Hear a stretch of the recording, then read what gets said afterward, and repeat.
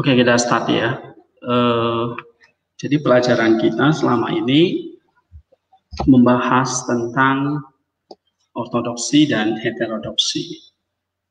Ortodoksi itu artinya ajaran yang lurus atau satu kebenaran ya yang kita percayai itu di dalam Kristus Yesus. Tetapi ada yang namanya heterodoksi. Berarti ada differencesnya, perbedaan-perbedaan terhadap kebenaran itu. Ya, dan kita mesti tahu apa yang lurus dan juga apa yang sebetulnya sedang terjadi di sepanjang sejarah kekristenan misalnya ya tentang heterodoksi atau perbedaan-perbedaan itu. Dan itu penting ya kita ketahui. Nah tentu hidup itu kan kayak semacam uh, perjalanan ya. Kita lahir nanti endingnya kita mati. Begitu juga dengan sejarah kekristenan. Ya, ada perjalanan waktu yang panjang sekali, lebih kurang 2000 tahun. Nah, apa yang terjadi selama 2000 tahun? Nah, kita adalah bagian dari sejarah itu, jadi kita mesti lihat ya historical journey-nya. Apa yang Kristus kerjakan, lalu apa yang dia dirikan, apa tujuannya, dan kita menjadi bagian dari salah satu eh, apa namanya perjalanan itu. Ya, nah tetapi dalam perjalanan itu timbul berbagai macam eh, perbedaan-perbedaan uh, ya. Nah, ini perjalanannya ya, timeline of church history. Oke. Okay. Bisa lihat tahun 33 itu adalah Pentecost, berdirinya gereja. Ya. Nah, terus ber, berjalan terus tahun uh, ini ada tahun-tahun penting ya tahun 69 ini konsili yang pertama ya di Yerusalem dalam kisah Rasul 15 oke okay? nah tahun 150 uh, eh, oh tahun 49 ya sorry itu konsili di Yerusalem kemudian tahun 69 itu Bishop Ignatius ya ditabiskan menjadi uh, apa namanya anti, uh, bishop ya di Antioquia. Nanti nanti saudara bisa lihat tanggal-tanggal pentingnya nih ya. Tahun 150 Justin Martyr ya uh, menjelaskan tentang Turki. Oke okay, gitu. Nah tahun 325 ini konsili Nicea ya untuk menghardik uh, salah satu heterodoksi yang muncul ya. Kemudian tahun eh, 397 ya tahun 451 konsili Chalcedon kemudian tahun 589 ya konsili di Toledo Spanyol. Eh, memasukkan kata filioki ya ke dalam pengakuan iman saya bahwa Roh Kudus itu juga keluar dari Putra itu tahun 589. Kemudian tahun 787 ada konsili ekumenikal yang ketujuh ya. Dan seterusnya sampai tahun eh, 14 eh, sorry ini ya 1054 terjadi perpecahan ya.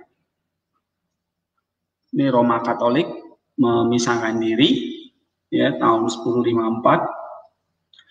Kemudian tahun tahun 10 1453 Konstantinopel akhirnya jatuh ke tangan Islam di sini. Ya, ditaklukkan oleh Turki. Kemudian eh, ini ya dalam Roma Katolik sendiri tahun 1517 ini ada reformasi Luther ya Kemudian tahun 1529 berdirinya gereja Anglican Church of England.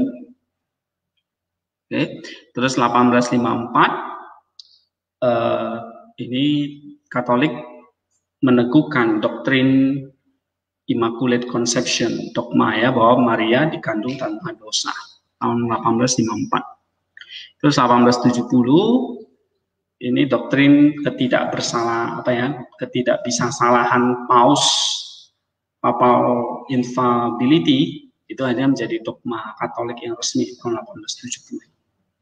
Oke, tahun 1988 eh, seribu tahun ya ortodoksi di Rusia. Nah ini ini kalau kalian lihat the timeline-nya ya ini di Orthodox Church, ini Roman Catholic. Roman Catholic ini pecah-pecah lagi, jadi menjadi gereja Lutheran, Anglican, terus kemarin minggu lalu kita belajar tentang uh, gereja Reform, ya. Nanti kita juga lihat ada pecahan-pecahannya lagi ya. Jadi seperti ini ya pecahannya. Nah, magisterial reformation tiba uh, ada magisterial reformation dan radical reformation. Dan reformasi itu dibagi dua. Ada reformasi yang magisterial artinya reformasi yang didukung oleh negara ya atau pemerintahan. Ini atau reformasi yang tradisional ya.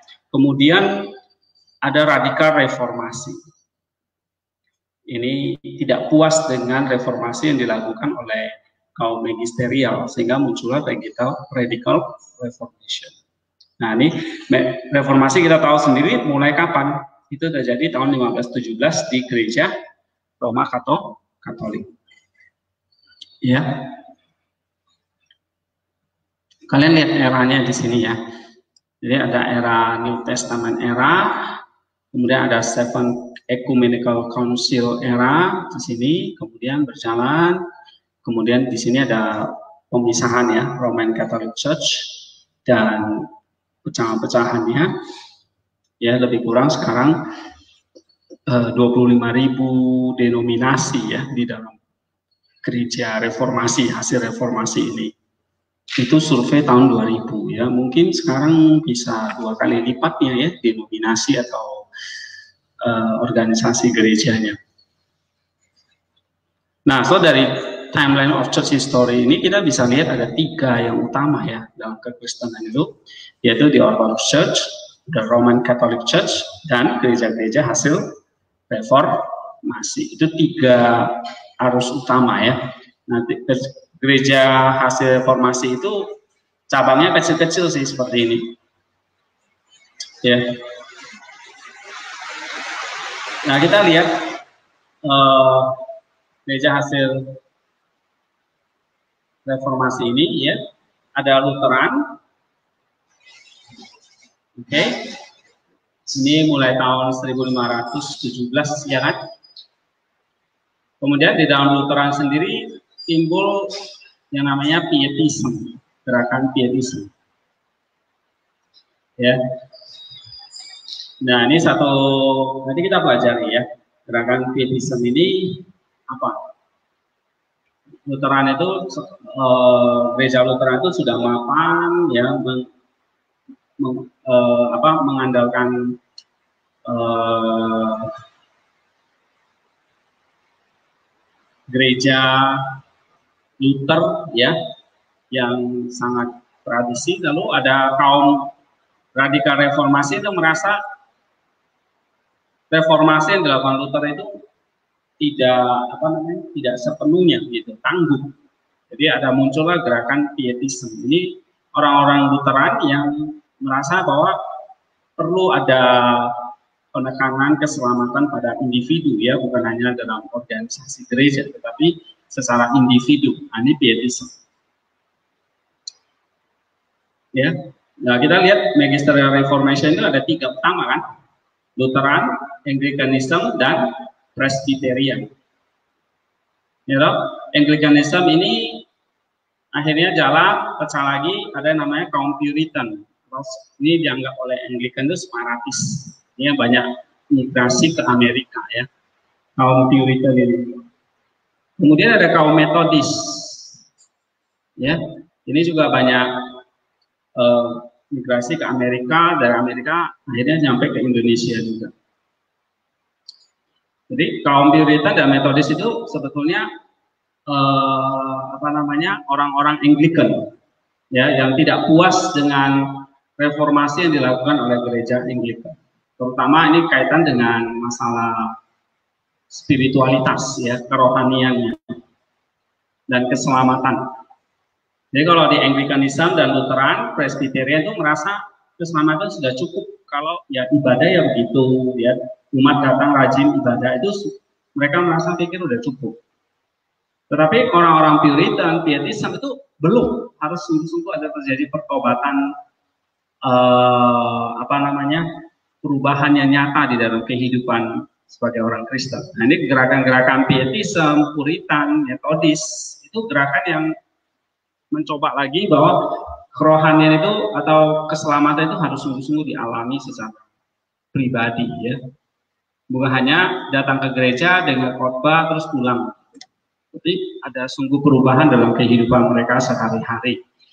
Nah ini yang ditekankan oleh kaum Puritan, Metodis, dan Pietism. Pietism ini dari orang-orang Lutheran, kalau Metodis dari Anglican sama Puritan ya. Kemudian ketiga Presbyterian. Presbyterian ini dibagi ya, ada orang-orang namanya ada gereja Reform, tapi ada juga gereja Presbyterian. Umumnya ini adalah pengikut Calvin, Calvinisme ya dan Zwingli. Nah, ini Presbyterian ada masih sampai sekarang gereja-gereja Presbyterian. Ya, kalian bisa baca di buku halaman ini ya tentang eh, apa namanya uh, magisteria reformasi ya di bab 3 di buku ini ya. Apa saja organisasi mereka kita udah bahas ya minggu lalu. Metodis ini apa saja, Presbyterian apa saja gitu ya. Kemudian ada Reform Churches ya ini seperti di Belanda dan sebagainya. Nah tapi dari Presbyterian ini atau uh, ini ada lagi yang namanya congregationalis. Ya. Lalu uh, muncul orang baptis dari reform churches juga pecahannya. Nah, inilah yang disebut dengan orang-orang radikal reformasi. Jadi mereformasi lagi apa yang sudah direformasi. Oke? Okay? Lalu ada orang baptis, ada orang congregationalis, lalu ada orang uh, gereja Anabaptis. Ini. Ya. Nah, dari baptis sendiri ini ini baptis ya.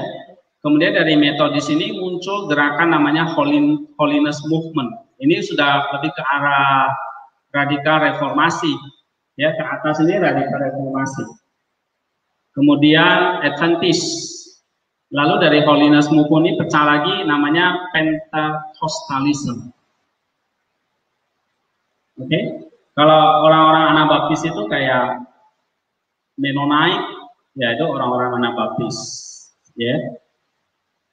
Uh, lalu kalau Baptis ini masih ada sampai sekarang ya gereja Baptis itu juga besar di Amerika. Nah, ini Methodism, lalu eh, radikal reformasi ya ini nanti kita lihat satu persatu ya ini secara garis besarnya dulu lalu eh, dari metode sini juga ada orang-orang Adventist, Holy Movement, dari Holiness Movement ada Pentecostalism. Jadi ini gambaran reformasi. Yang tiga, yang utama Lutheran, Anglicanism, dan Presbyterian atau Reform. Kemudian dari situ timbul radikal reformasi, yaitu ada Anabaptis, Baptis, lalu Adventis, dan Pentakostalisme. Ini gereja-gereja masih ada sampai sekarang. Nah, Pentakostalisme kan banyak ya. Ada mungkin ratusan sinodenya itu atau organisasi gerejanya. Oke, nah ini misalnya contoh ya gereja-gereja yang ada ya. Misalnya gereja di Saddleback tahun 1982 didirikan. Ini ini adalah hasil dari Radical Reformation Church ya. Ada Harvest Christian tahun 1972 pendirinya ada Creek Lowry Calvary Chapel Church Smith tahun 1965 ya Uh, kemudian ya ada Mormon tahun 1830, pendirinya Joseph Smith. Lalu ada Methodist tahun 1739, John Wesley. Ada Gereja Baptis tahun 1609, John Smith. Ya, lalu Gereja Kongregasionalis Robert Brown tahun 1582. Lalu Presbyterian John Knox, Calvinis tahun 1555, John Calvin ya Anglikan tahun 1534 Henry ke-8 Luther 1517 tahun oleh Martin Luther ya. Roma Katolik sendiri tahun 1054 eh, pecah ya Leo ke-11 lalu gereja yang ortodoks itu tahun 33 nah kita sudah belajar tentang kemarin eh, apa namanya ya magisterial reformasi, ya, Katolisisme. Kemudian kita sudah sudah lihat tentang Orthodox spirituality dan Catholic spirituality, perbedaannya apa gitu, ya, yang yang Bapak gereja ajarkan kayak gimana, nanti kita bisa bandingkan dengan yang kaum radikal reformasi. Misalnya kaum ya, holiness movement, uh, atau pietism. Nah, nanti kita bandingkan dengan uh, yang Katolik dan Ortodoks punya. Nah, ini ada evangelicalism, Pentecostalism, kemudian ada non-mainstream Christian. Ya, non-mainstream Christian itu kayak, nih, misalnya kayak Mormon, kayak saksi Yehova, Christian Science, ya, Nah, ini ini golongan dari non mainstream Kristen. Yang mainstream apa? Yang mainstream ya ada Ortodoks, Katolik, sama Protes, Protestan. Ya. Oke. Nah, uh, kita lihat ini dulu sebelum kita ke ini ya sebelum ke radikal reformasi Ya, kita coba lihat uh, what is true history of our faith. Ya. Apa itu kebenaran? Oke. Okay.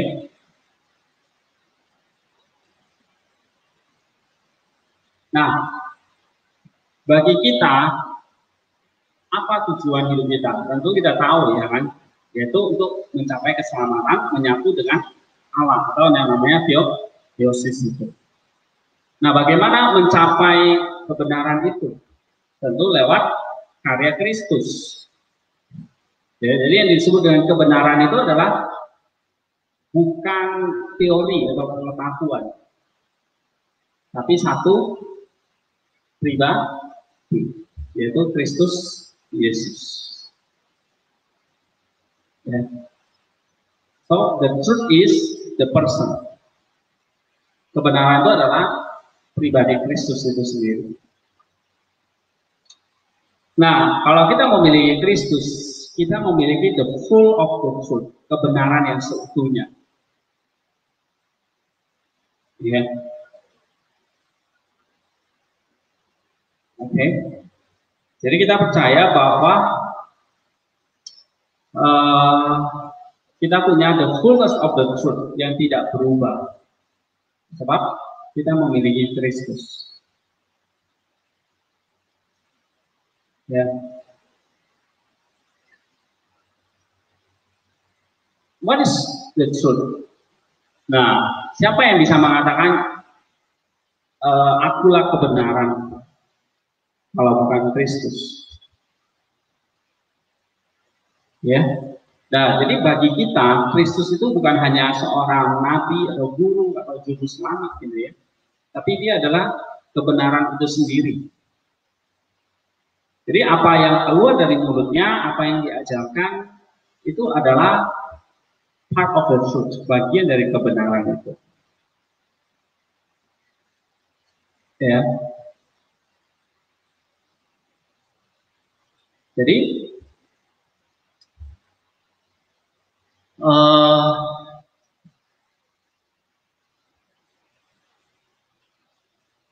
apa yang Kristus ajarkan ya itu adalah satu kebenaran kemudian dicatat direkam oleh gereja dan itu diajarkan kepada kita di sepanjang sejarah oke okay? nah apa yang diajarkan tentu untuk mencapai yang namanya keselamatan atau the union with God melalui dia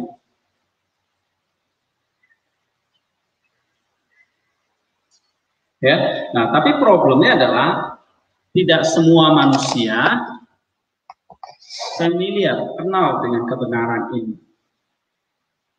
Itulah sebabnya ada yang namanya penginjilan, pewartaan Injil.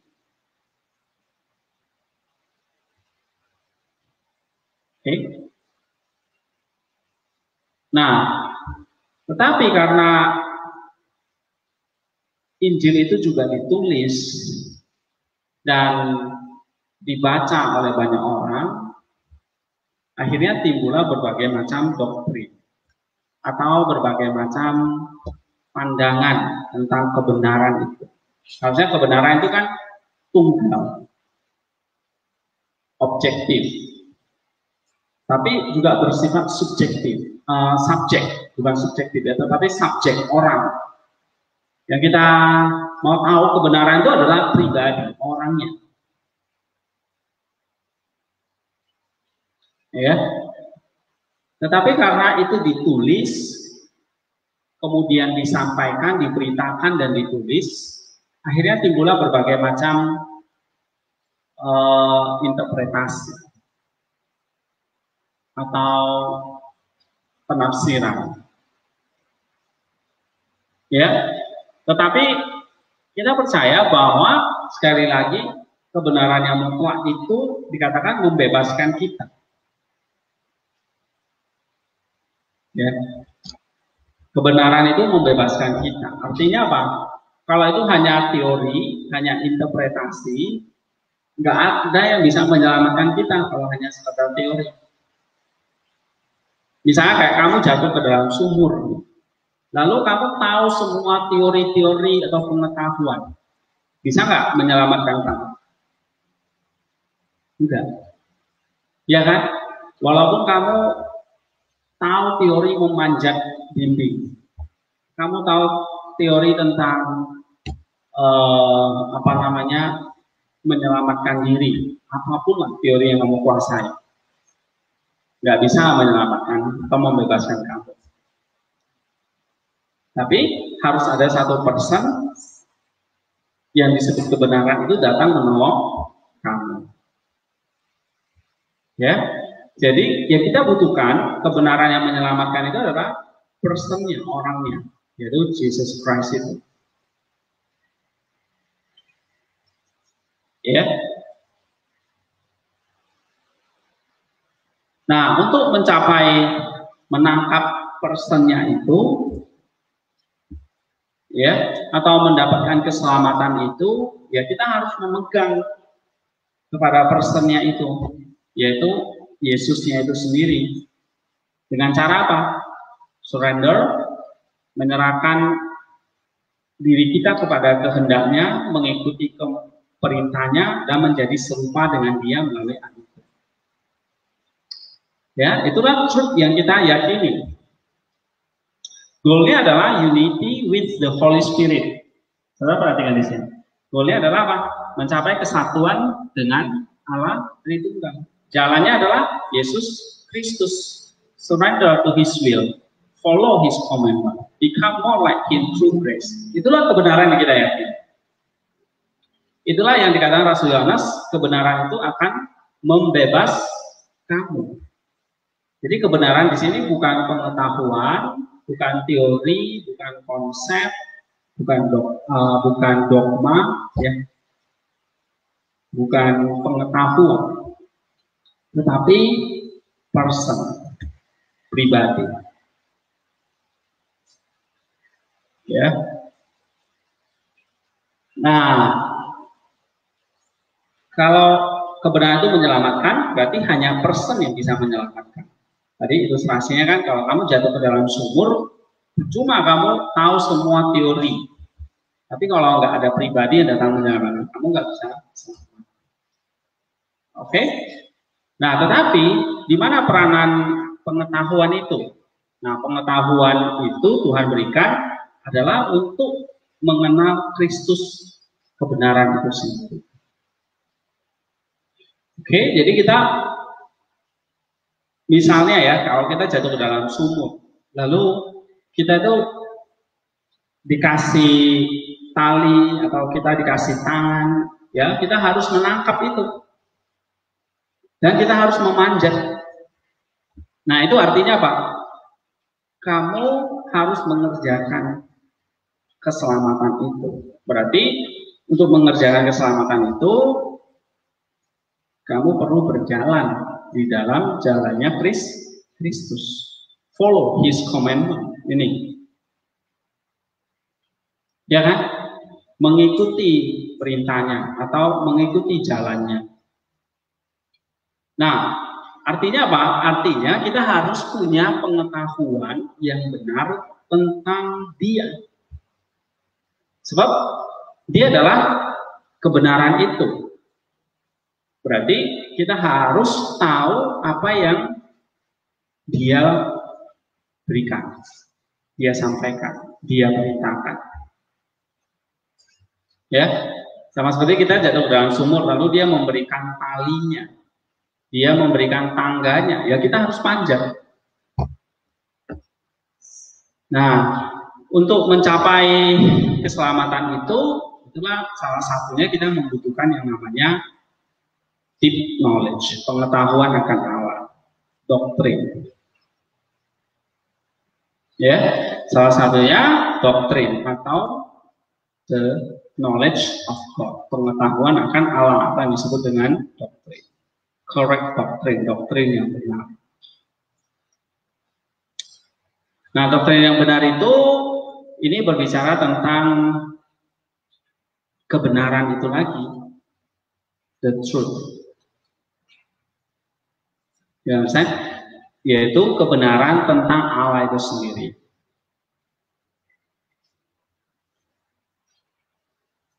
Ya, kebenaran tentang Allah sendiri bahwa e, kebenaran tentang Allah sendiri untuk kita memanjat tangga keselamatan itu.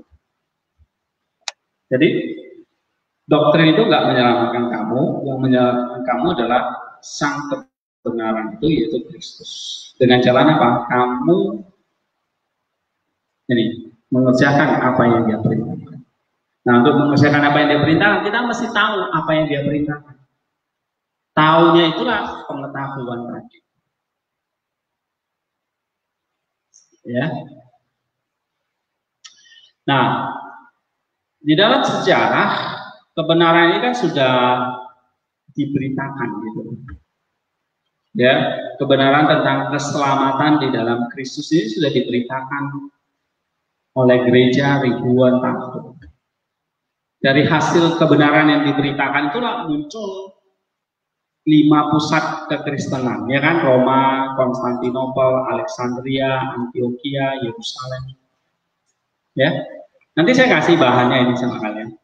Jadi uh, supaya kalian lebih memahami ya, saya harus cepat jelasin karena ini ada berapa 400 slide ya. Kalian listen apa aja, dengarkan.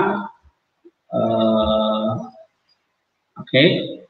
uh, dengarkan, pahami ya. Uh, ini sebetulnya ada ringkasan dari buku ini sih ya. Oke, okay.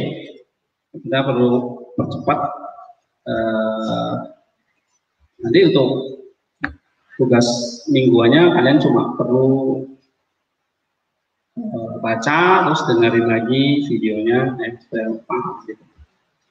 Oke, okay. uh, tidak perlu diringkas ya. Karena saya baca yang kalian tulis itu juga saya bingung sendiri. Mungkin terlalu cepat ya saya jelaskan. Oke lah, ini ada bahannya. Nanti kalian baca lagi. Saya cuma terjemahkan dari sini. Ya, supaya kalian lebih paham. Kalau kalian baca buku ini ya informasinya lebih lengkap gitu. Tapi ini udah ada diringkas di sini. Ya. Nah, nanti PR mingguannya eh, baca artikel ini, dengarkan lagi, nanti saya tanya di kelas. Ya, jadi nggak usah diringkas-ringkas lagi, ya. Karena saya bacanya juga pusing, nggak efektif juga. Oke, okay. uh, eh, kita lanjut ya. Nah, kebenaran yang menyelamatkan tadi akhirnya diberitakan. Ya, supaya misi Allah untuk menyelamatkan semua orang itu kan tercapai. Nah, ketika itu diberitakan, muncullah yang namanya apa tadi? Interpretasi. Ada orang yang salah menanggapi. Gitu. Nah muncullah yang namanya heterodoksi. Ya artinya yang di luar dari kebenaran itu nah di dalam seribu tahun yang pertama gereja itu satu ya ini kalian sudah tahu ya terdapat lima pusat yaitu Roma, Konstantinopel, Alexandria, Antioquia, dan Nusantara. Nah kalau misalnya kita belajar reformasi, gereja uh, belajar sejarah versi reformasi, lima pusat ini sepertinya jarang diceritakan ya, atau hampir tidak ada ya. Karena uh, ya setelah para rasul, oke, okay, berakhir gereja itu sepertinya mengalami masa kegelapan. Sampai abad ke 16 baru ditemukan kembali gereja. Ya, oleh Luther, oleh Calvin. Gitu. Mereka lah orang-orang yang mau mencoba uh, bukan mencoba lagi, memang sudah mereformasi gereja itu seperti gereja yang mula-mula. Jadi semangat reformasi itu sebetulnya uh, bagus ya untuk mengembalikan gereja kembali lagi pada tahun 33 itu. Seperti apa? Lalu referensi yang mereka pakai itu cuma satu yaitu kitab suci yang layak dipercaya. Ya, bukan tradisi gereja, bukan tulisan-tulisan bapak gereja ataupun para paus ya, karena mereka anggap itu sudah tidak lagi atau itu sudah melenceng. Oke, ini nanti kita lihat ya.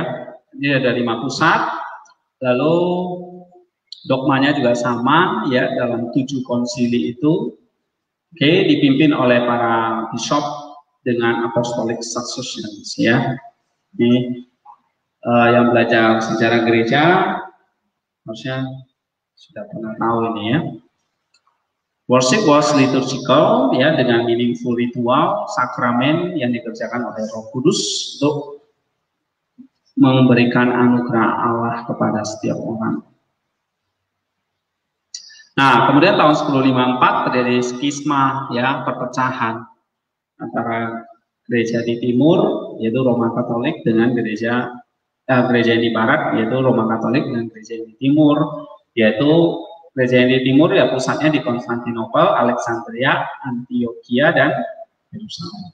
Nah, gereja yang di barat yaitu yang di Roma. Nanti tahun 1054 terjadi skisma. Oke.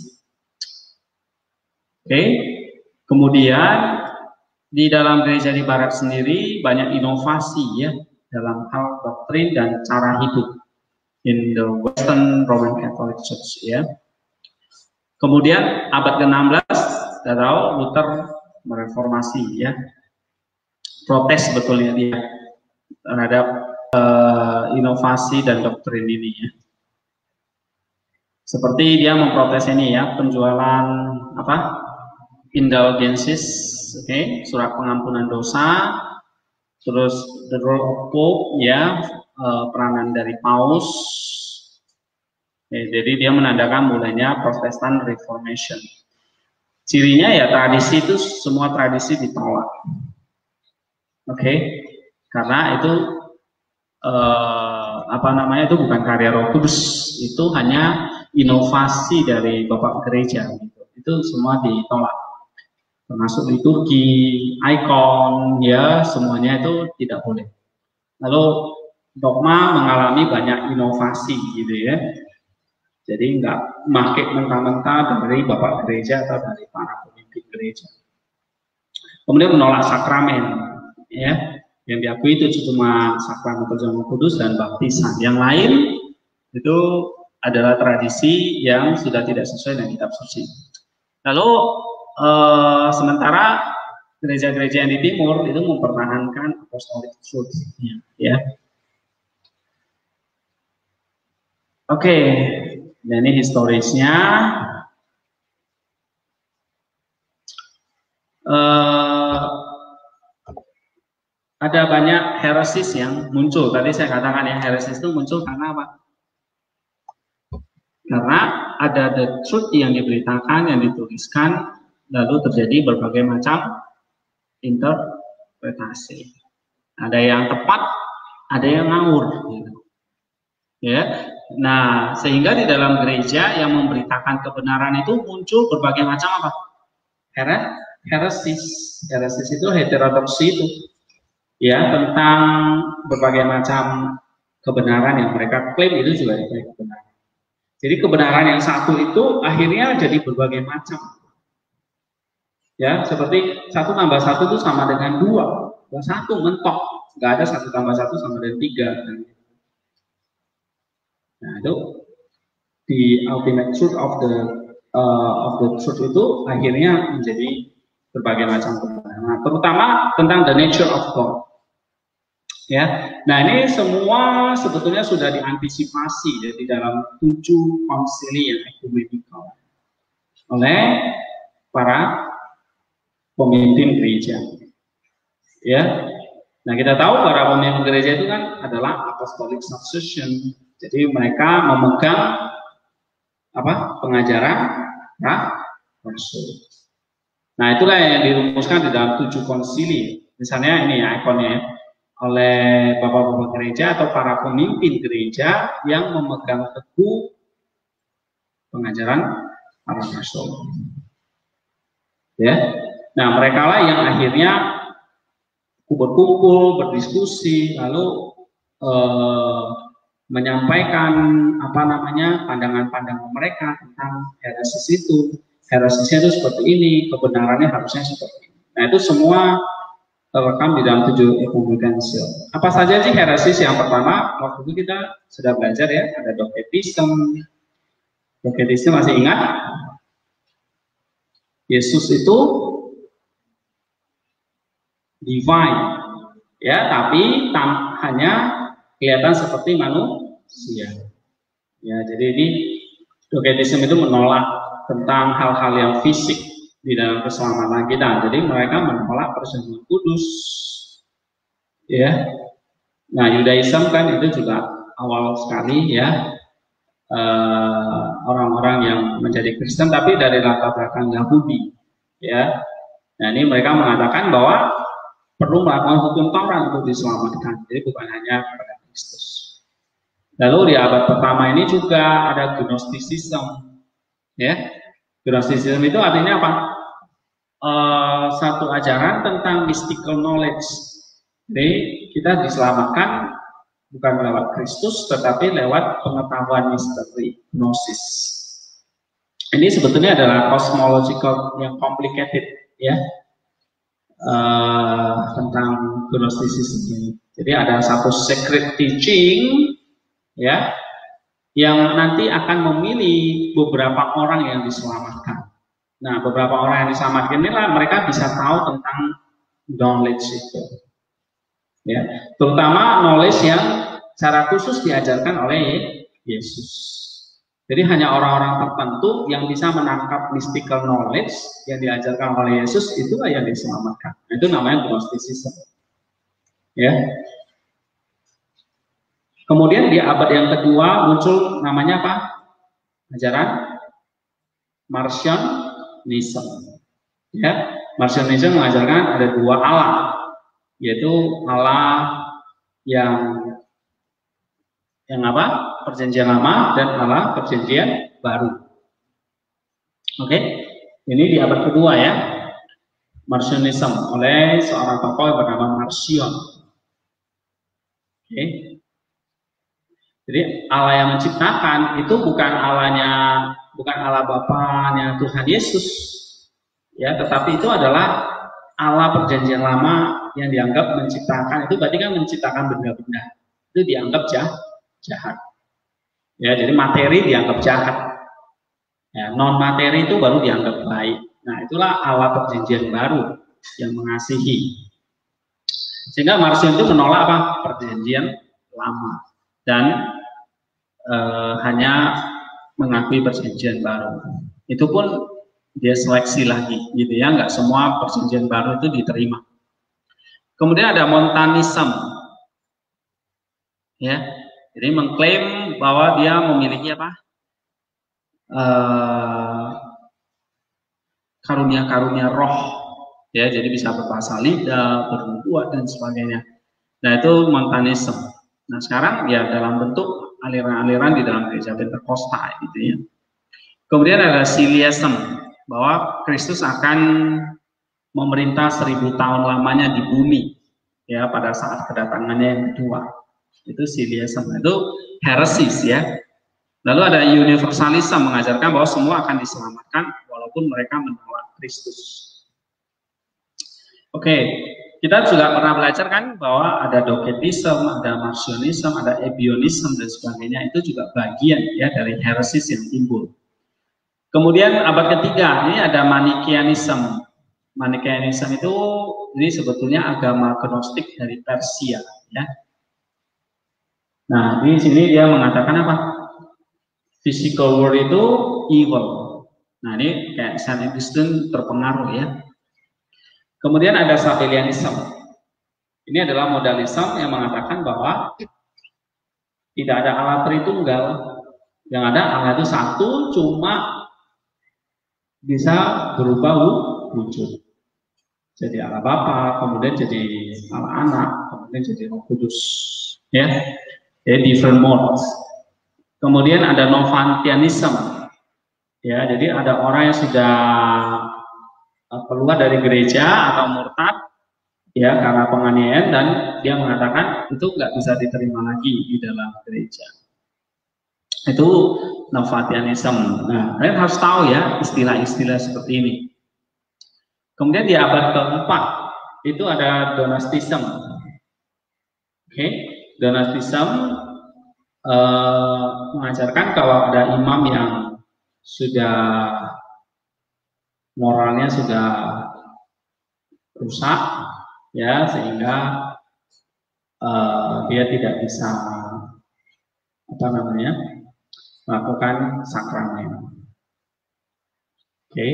Arianism ini menolak kita tahu bahwa Kristus itu hanya cipta ciptaan. Nah ini nanti Arianisme ini sekarang wujudnya bisa ke Unitarianisme gitu ya. Unitarianisme itu mengajarkan apa? Allah itu satu, pencipta. Kristus itu bukan Allah, itu ciptaan yang paling utama. Ya, itu kaum Unitarian. Nah, itu sama kayak Arianisme. Lalu apa? Apolina, Apollinarianism. Artinya apa? Yesus Yesus tidak memiliki pikiran manusia. Ya, Apollinarianisme itu mengajarkan bahwa Yesus hanya punya apa? Pikiran ilah, ilahi. Dia tidak punya human mind. Gitu. Ya, ini sudah dikutuk di konsili ekumenis yang kedua. Kalau Neuma Pneumatomachianism bahwa Roh Kudus itu bukan ilah ilahi. Ya, Roh Kudus itu ciptaan. Arianisme, Kristus itu cipta ciptaan. Pneumatomachianism, Roh Kudus itu not divine. Ya. Lalu ada juga namanya Pelagianism. Ini anugerah Allah tidak cukup menyelamatkan kita. Jadi dibutuhkan perbuatan-perbuatan baik. Itu Pelagianisme. Nah itu fourth century, abad keempat. Di abad kelima muncul Nestorianism. Nah ini kita juga sudah pernah bahas ya uh, tentang ini. Oh, Yesus punya two persons, dua pribadi, ya, yang terpisah gitu. Oke, okay menolak menyebut Maria sebagai Theotokos, tetapi hanya Kristus Ya, Nestorianism dari ajaran Nestorius. Jadi dia punya two distinct person. Jadi Yesus itu bukan satu pribadi, tetapi dua pribadi. pribadi. Oke. Okay? Nah, eh, monofisik sebaliknya. Yesus itu apa? Punya dua eh punya satu natur, tapi bukan dua natur. Nah, kita percaya Yesus itu apa? Satu pribadi, bukan dua pribadi. Tapi di dalam dua natur. Sedangkan monofisik dua na satu natur, bukan dua natur ya. Monofisik, mono satu. Jadi uh, Yesus itu hanya punya satu natur, yaitu natur ilahi. Jadi dia nggak punya natur manusia. Oke? Okay? Oh, monofisik itu pandangannya gini. Dua natur yang bergabung menjadi satu natur. Jadi uh, from two nature, ya. Jadi natur ilahi dengan natur manusia itu blended jadi satu. Nah, itu namanya monofisik. Jadi nggak nggak nggak terpisah, nggak bisa dibedakan lagi. Pokoknya udah dicampur gitu. Ya, nah itu monofisik. Sedangkan kita percaya bahwa Yesus itu pribadi dan Allah, dua natur yang bisa dibedakan, tetapi tidak bercampur baur, bukan berfusi dia. Oke, tetap dua natur yang berbeda tapi tidak terpisah di dalam satu pribadi. Nah, kemudian ada six century, ada filioquism, artinya di sini Roh Kudus juga keluar dari bapak dan anak. Ya, ini yang kita juga enggak uh, percaya. Abad ketujuh ada monotelitism. Nah, ini tambahan ya, kemarin kita belum sempat belajar. Monotelitism itu artinya Kristus hanya punya satu kehendak.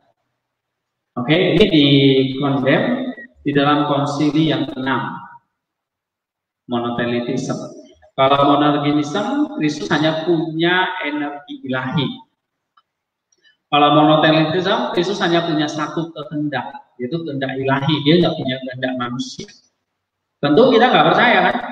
Kalau dia punya dua natur, natur Allah dan manusia maka dia punya dua kehendak yaitu kehendak manusia dan ilahi. Nah kalau monoteisme nggak percaya Yesus hanya punya satu kehendak. Monoteisme juga nggak percaya bahwa Yesus hanya punya satu, dia hanya punya energi ilahi, dia nggak punya energi manusia. Lalu ada iconoclasm, ya ini ajaran di dalam gereja menolak uh, tentang penggunaan ikon-ikon ya. Nah ini sudah ditutup di dalam konsili ketujuh. Lalu di abad ke-14 itu ada namanya Barlamisme. Ya, Barlamisme itu dari salah seorang namanya Barlam juga. Ya, yang mengajarkan bahwa uh, hesychatic practice ya uh, praktek hesychasm itu tidak bisa membuat kita itu melihat tidak bisa membuat kita itu bisa melihat anugerah Allah yang tidak tercipta atau terang ilahi yang tidak tercipta itu. Ya. Nah, sedangkan kita percaya bahwa orang yang suci hatinya, ya kan, orang yang sungguh-sungguh berdoa dengan hesiketik itu, dia bisa melihat anugerah Allah atau melihat terang. Nah, barang menolak percaya itu. Dia mengatakan bahwa mental knowledge itu lebih besar daripada spiritual knowledge, ya. Nah, jadi kita lihat di sini ya gereja sudah menghadapi sebetulnya banyak eh, ajaran-ajaran yang tidak di sepanjang di sepanjang zaman sampai sekarang ya nah kita mesti tahu apa yang terjadi di sepanjang sejarah ini lalu tidak-tidak apa yang muncul ya dan bagaimana kita lihat gereja itu tetap dipelihara oleh Allah kebenaran itu tetap terjaga di dalam gereja ya misalnya di dalam tujuh konsili ini jadi semua ajaran beda itu sebetulnya sudah tujuh abad pertama itu sebenarnya sudah muncul ya banyak sekali. Dan itu akhirnya sudah dijaga di dalam tujuh konsili. Oke. Okay? Nah ini yang di ortodoks ya kita sudah belajar tentang alat tunggal. Ya, ini yang ortodoks yang yang yang kita mesti jaga betul. Itu tentang Holy Trinity. Ini yang banyak diserang Oke, okay? tadi misalnya kayak Docetism, ya kan? Lalu Egionism, ada Judaism, ada Apollinarianism, Sabellianism, ya. Itu semuanya apa?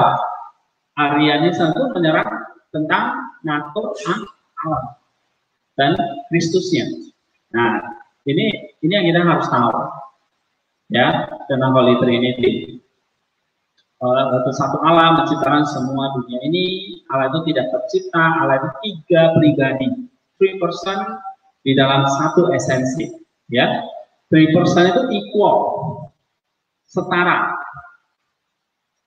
ya di dalam keilahiannya kuasa kemuliaan dan kekekalannya nah ini harus sama kemudian setiap pribadi share ya berbagi uh, keilahian yang sama. Oke. Okay? Terus eternal source-nya adalah Father, dari situlah diperanakan Putra dan Roh Kudus keluar proses. Oke. Okay? Lalu God is essence dan energy. Nah, ini jangan lupa. Ya, esensinya kita tidak pernah bisa tahu. Lalu energinya itulah yang kita ketahui. Nah, hal-hal seperti itu kita mesti hafal ini ya tentang Holy Trinity, poin-poin pentingnya di sini. Kemudian tentang Jesus Christ. Oke, okay, sekali lagi dia fully divine, dia ilahi sepenuhnya, begotten, diperanakan dari Sang Bapa sebelum segala zaman. Jadi di dalam kekekalan, ya satu esensi dengan Bapa. Kemudian dia fully human, by virtue being born of the Virgin Mary, ya, benar-benar dilahirkan dari perawan Maria, inkarnasi dari Maria dan Roh Kudus, satu esensi dengan manusia, tapi juga satu esensi dengan Bapa. Nah ini of God-nya. So, rumusnya adalah one person into nature. Satu pribadi di dalam dua natur. Jadi kalau ada yang mengajarkan ini uh, two persons tidak, one nature tidak. Ya kan? Kemarin diagramnya sudah saya tunjukkan ya. Ada Docetism, Edionism, Arianism, Nestorianism. Ya, ini karena mengurangi atau menambah ini akhirnya jadi heresi. Dia adalah Mesias yang dinubuatkan di dalam perjanjian lama. Ya, dia adalah nabi yang terakhir. Jadi kalau ada yang mengaku ada nabi lagi yang akan datang, itu kita nggak percayai. Karena dia adalah Mesias, Raja, Nabi, dan uh, Imam yang tertinggi. So, dia adalah Mesias, ya. Uh, Lalu ya dia berkarya, disalibkan, mati dan bangkit pada hari ketiga. Jadi kalau ada yang mengajarkan bahwa Yesus tidak mati, berarti itu tidak. Yang mengajarkan kalau Yesus tidak bangkit, berarti itu tidak. Oke, okay? Yesus itu eh, apa namanya? Eh, dia tidak mengalami penderitaan, tidak disalib, nah itu berarti kita nggak percaya. Dan hanya ada satu gereja, yaitu tubuh Kristus. Ya, karena Kristusnya satu, ya gerejanya satu. Ya, jadi keselamatan di dalam dan gereja. Nah, keselamatan yang kita percaya itu tentunya adalah kita mengalami apa namanya united with God, menyatu dengan Allah di dalam anugerahnya. Oke, okay?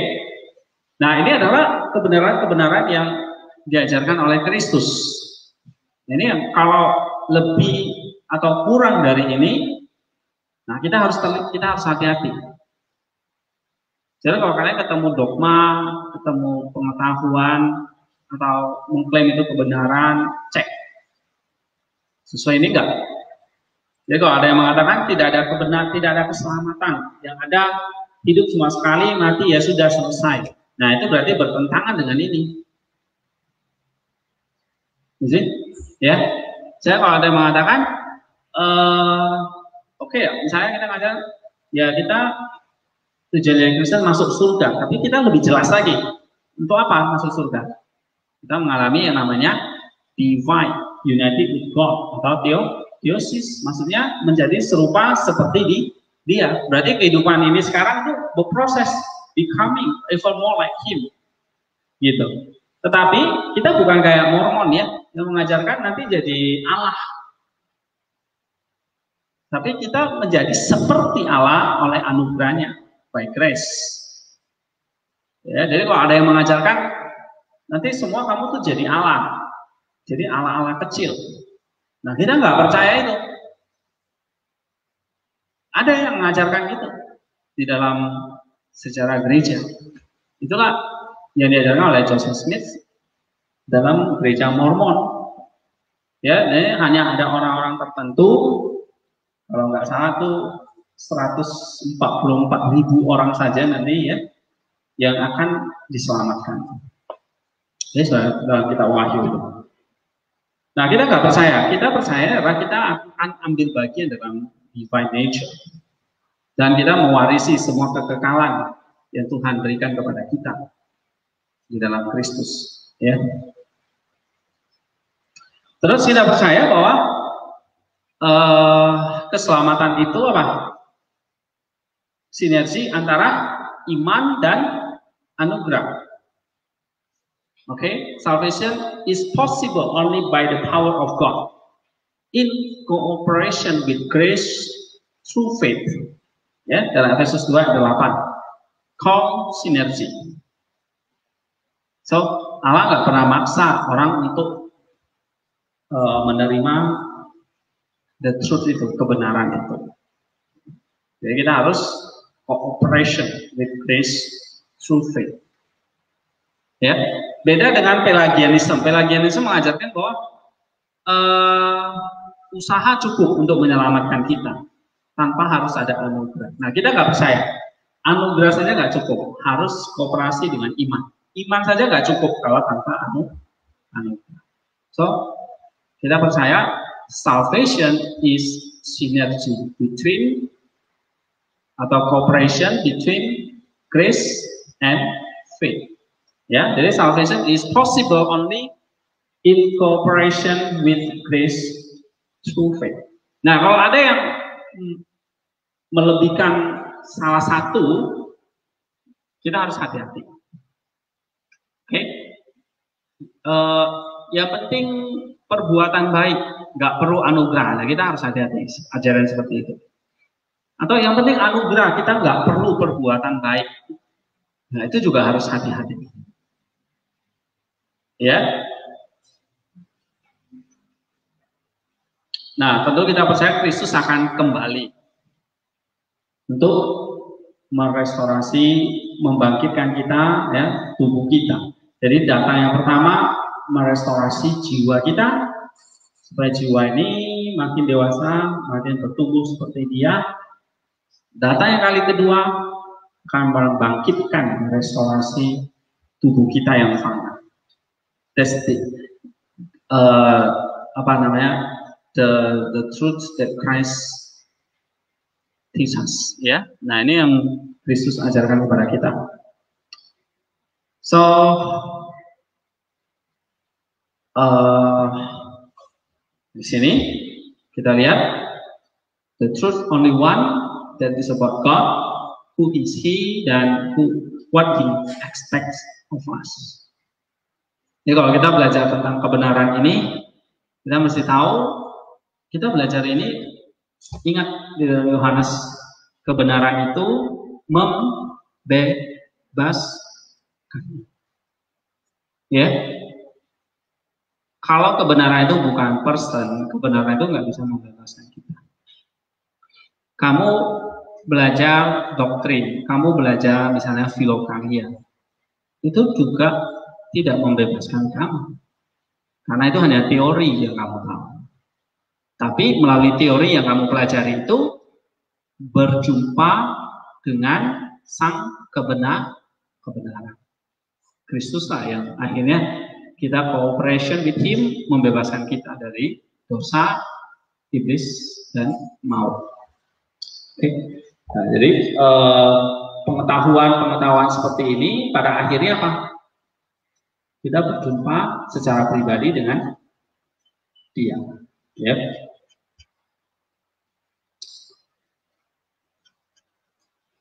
Oke, kita uh, akan lihat sekarang radikal reformasi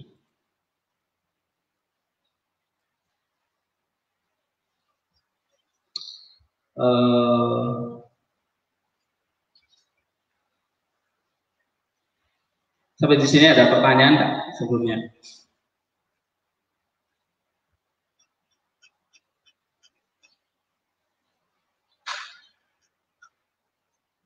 Nah, ini yang penting ini juga ya. Jadi yang dikatakan tentang kebenaran yang kita pelajari itu bukan hanya words kata-kata, tetapi itu lebih bersifat mystical. So, kamu belajar doktrin, it means that you learn the mystical. Karena yang kita pelajari itu adalah sesuatu yang memang tidak nampak secara kasat mata. Mystical itu artinya bukan mistik ya, tapi hal-hal yang bersifat roh. Nah, kalau Rasul Paulus mengatakan kamu adalah manusia rohani, berarti kamu bisa menerima hal-hal yang dari roh.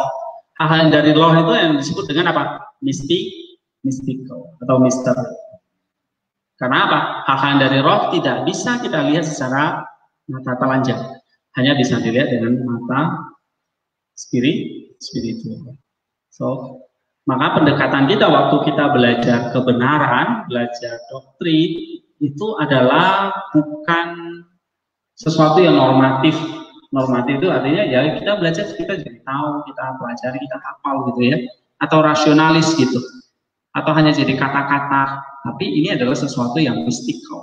Artinya untuk terapeutik so you, you, kamu belajar tentang doktrin dogma itu untuk sekali lagi to attain theosis to attain salvation ya Ya, jadi kalau kita ini yang sudah bertahun-tahun belajar doktrin, belajar teologi, nah kalau hidupmu nggak berubah, ya berarti kamu belajarnya cuma normatif saja. Ya udah, normatif itu berarti apa? Buat lulus, buat dapat nilai gitu.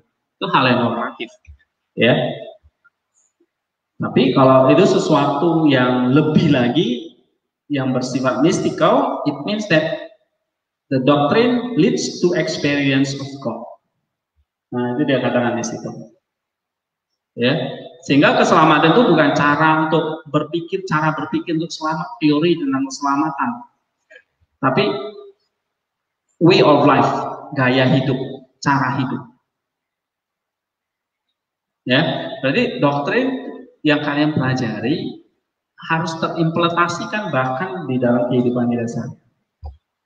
Way of thinking, way of conduct, way of uh, apa namanya way of life cara kehidupan kita Apa itu? Cara kita berpikir, cara kita berperilaku, cara kita bahkan termasuk menggunakan media sosial gitu. This way of life. Ya, jangan kamu di sini baik-baik, tapi begitu keluar dari sekolah ini kayak burung bebas dari sangkar. Gitu. Ya kan? Jadi apa yang dipelajari itu udah bubar semua.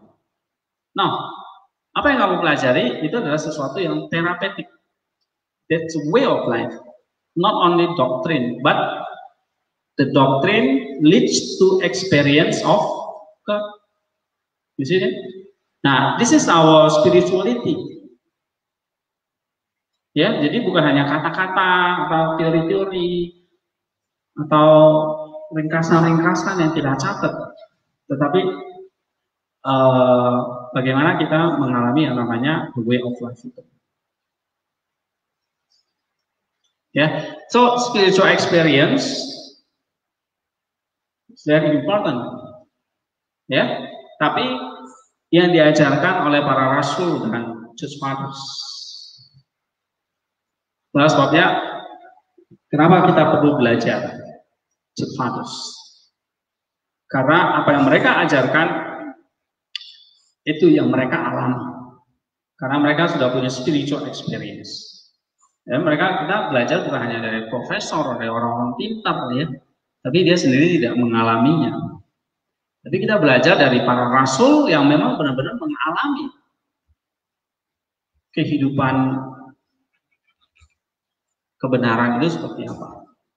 Para rasul, saya bertanya, para rasul itu sudah benar-benar dibebaskan dari the truth yang mereka tahu.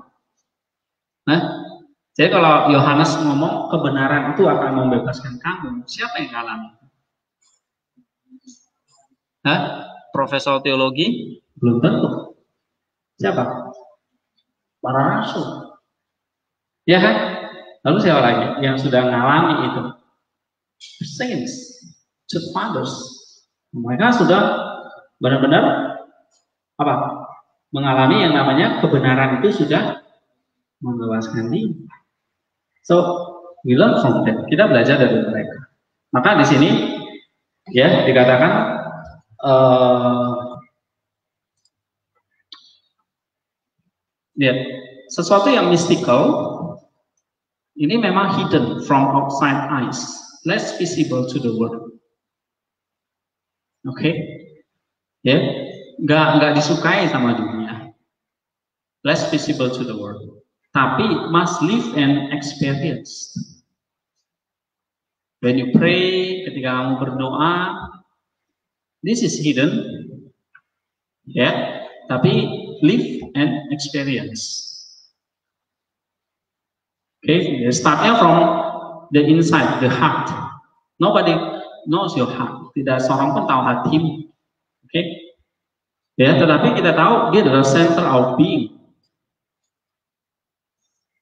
Ya, kita bisa memilih hati kita pure, murni, diarahkan kepada Allah atau memilih untuk melawan hati kita, melawan Allah dalam hati kita.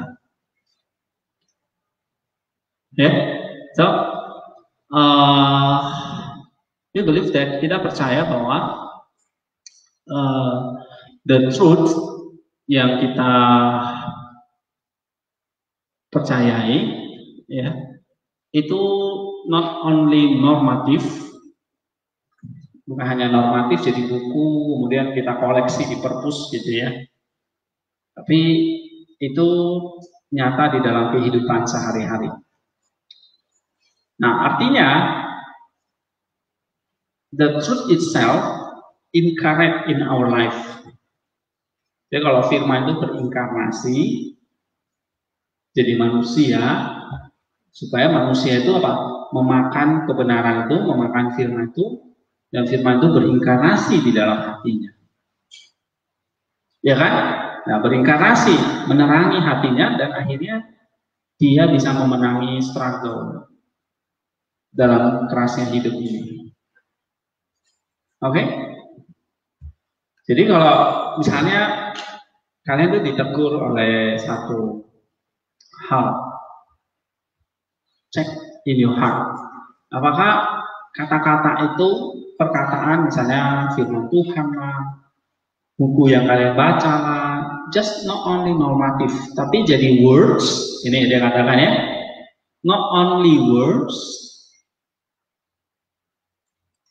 not only dipikirkan, normatif, tetapi something mystical. Artinya apa? Terapeutik. Ya. Memang itu benar-benar masuk, firman itu masuk lalu berinkarnasi. It means that memang benar-benar apa?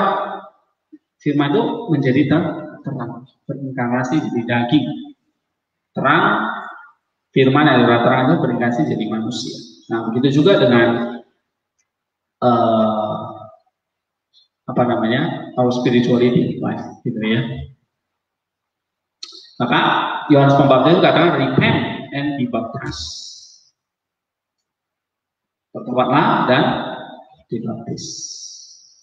Ya, ada satu cerita yang uh, menarik ini ya dari ini saya baca ini saya sangat uh, kagum dengan tokoh ini bernama uh,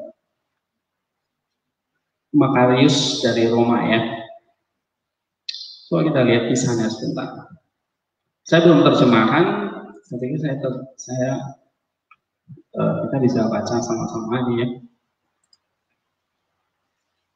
Tanggal kalau salah tanggal 22 Saint Makarius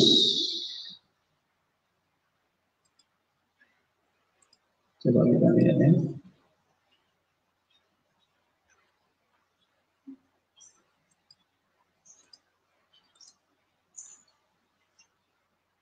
Coba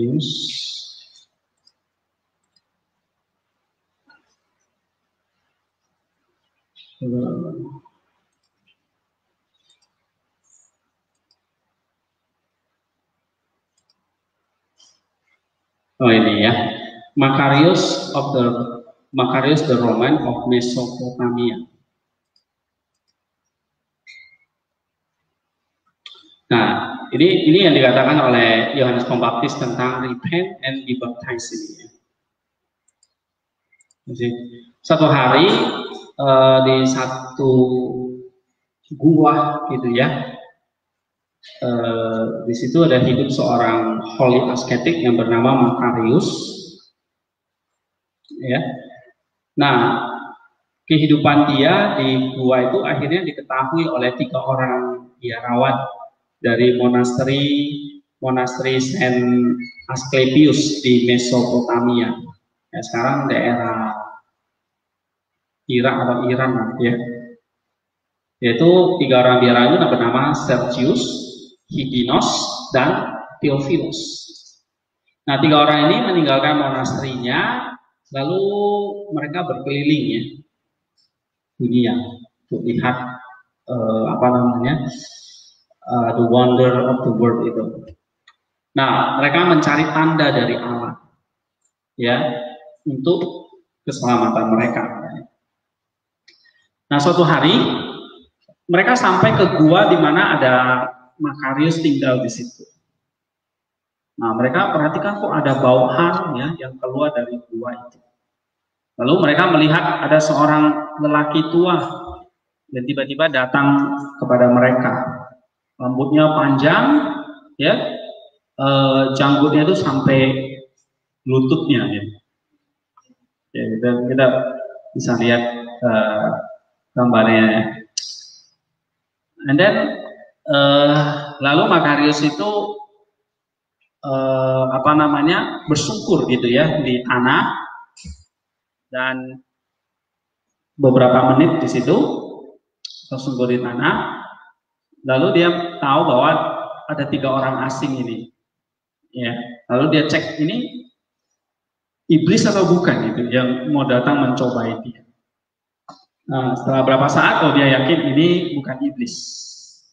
Ya atau dia tidak berhalusinasi gitu tidak berdelusi kalau yang datang itu bukan bukan iblis tetapi memang adalah uh, manusia gitu. Nah, akhirnya Makarius ini cerita sama ketiga orang biarawan itu. Ya, dia cerita bahwa dia dia lahir di Roma.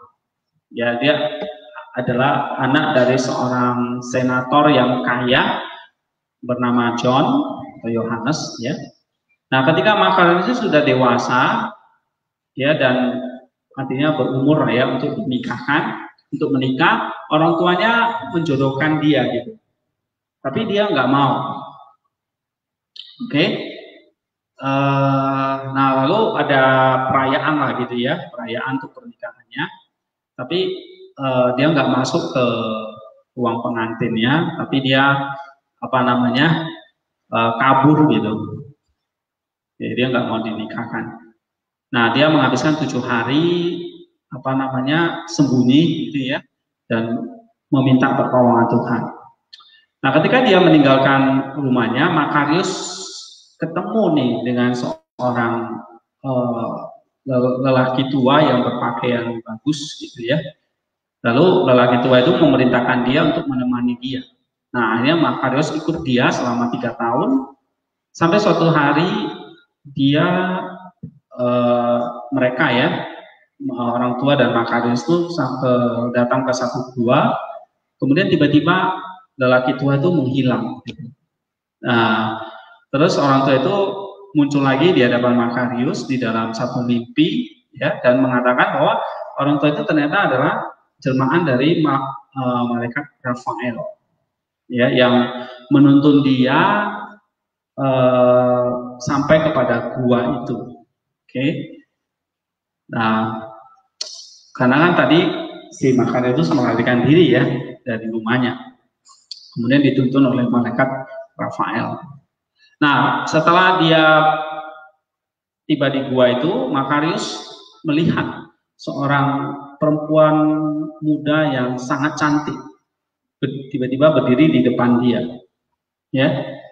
Dan mengatakan bahwa dia juga sama seperti dia melarikan diri ketika ingin dinikahkan gitu. Nah lalu Makarius pun eh, apalah ya ibaratnya kayak e, ibah gitu.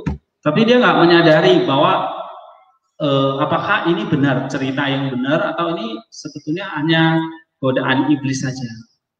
Sehingga dia mengizinkan gadis cantik itu untuk tinggal di dalam gua bersama dia. Oke okay. nah untuk pertama kali dalam hidupnya akhirnya dia apa namanya ya mengikuti hawa nafsunya dan dia pun berzina dengan gadis itu. Ya. Tapi setelah itu tiba-tiba gadis itu menghilang dan uh, dia tahu dia sudah jatuh ke dalam dosa. Oke. Nah, akhirnya si iblis pun bersuka cita. Jadi kalau kita jatuh ke dalam dosa apa? The devil rejoice ya kan? Malaikat itu senang, gitu. Ya, sedangkan uh, uh, bukan malaikat, iblis itu senang, malaikatnya sedih. Oke, okay, see? Nah, pada saat itulah Makarius menyadari bahwa kejatuhan itu begitu serius, ya kan? Lalu dia menangis, ya, dia menangisi uh, dengan sangat itu Lalu dia memutuskan untuk meninggalkan gua itu dan menemukan tempat lain gitu ya untuk penebusan dosanya. Nah selama perjalanan, nah malaikat Rafael itu uh, Archangel Rafael itu menampakkan diri lagi kepada dia dan menyuruh dia untuk balik lagi ke gua itu. Nah dia kasih tahu bahwa Allah sudah mendengar doanya ya supaya dia tetap tinggal di dalam gua itu. Akhirnya Makarius pun balik ke gua itu dan eh, apa namanya menunjukkan pertobatannya ya dengan sungguh-sungguh melalui puasa, berjaga-jaga dan penyangkalan diri selama bertahun-tahun. Ya, sampai dia recover ya dari apa namanya uh, memulihkan jiwanya yang tadi tercemar akhirnya menjadi purity lagi. Ya, dia merasa bahwa pertobatanku itu nggak cukup, aku harus lagi, harus lagi, harus lagi. Ya. Nah, dia akhirnya menjelaskan itu kepada tiga biarawan tadi. Ya. Lalu uh, di sini dikatakan ya, his sins was very great. Dosanya sangat besar. Tetapi pertobatannya juga besar. Ya. So you have to understand that uh, apa namanya kita bisa mengalami yang namanya sin, tapi kita juga bisa mengalami yang namanya pertobatan. Ya, nah kalau kita lihat cerita Makarius ini, uh, dia salah ya, fatal kesalahannya. Dia menolak untuk dinikahkan, dia mau jadi tetap purity ya kan. Tapi malah tergoda. Tetapi dia menunjukkan pertobatannya pada bertahun-tahun. Ya, so kita harus kuat di dalam pertobatan kita. Jangan kamu cuma menangisi satu dua menit selesai, kamu udah merasa lega, tapi kamu nggak sungguh-sungguh. Ya, bahkan harus Makarius itu apa? Satu dosa yang membuat dia jatuh dalam perjinahan kan, membuat dia menangisi bertahun-tahun. Ya kan, kamu ingat cerita Maria dari Mesir, kan gitu ya, Pelagia misalnya. Nah, itu adalah pelacur, ya, mereka adalah pelacur, tapi mereka great sin lah ya, dosanya besar gitu. Tetapi pertobatannya juga besar. Nah, ini yang kita mesti tunjukkan. Ya. That is the mystery. Ya, this is continual struggle. Itu continual struggle. Terus repent, ya, dalam pertobatan. Yohan mengatakan itulah the path to salvation, jalan menuju pada keselamatan. Ya, sampai benar-benar apa? The soul is purified. Ya kan sampai jiwa itu benar-benar murni. Ya, established in the heart. Ya. Nah, the soul is established with the mind in the heart. Nah, itu artinya kita terus memurnikan diri itu. Ya. Oke, okay, I think ini tentang the altar spirituality uh, sudah saya banyak ajarkan ya dari Jewish Hospital terapeutik ya terapeutik method. Nah, bagaimana terapi itu dijalankan? Tentunya mulai dari dalam hati, ya denus itu mesti dibersihkan, eh, uh, ya salah satunya tadi repentance fasting, vigils, ya, misalnya seperti ini yang dialami oleh Makarius. Ya, jadi katakan di sini dia apa, apa yang dia weeping, menangis, you know, and then apa self denial, fasting, vigil. Ya, nah seberapa usaha kita itu seberapa untuk melakukan itu? Itu pertanyaan kita. Jadi kalau kita rumuskan our sins, dosa kita itu mungkin banyak ya.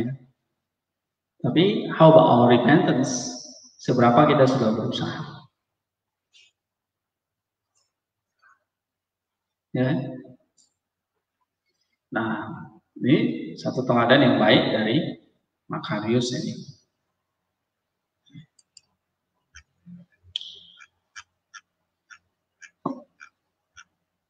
Oke, kita uh, break sebentar, nanti kita masuk lagi ya. Uh, kita break 10 menit.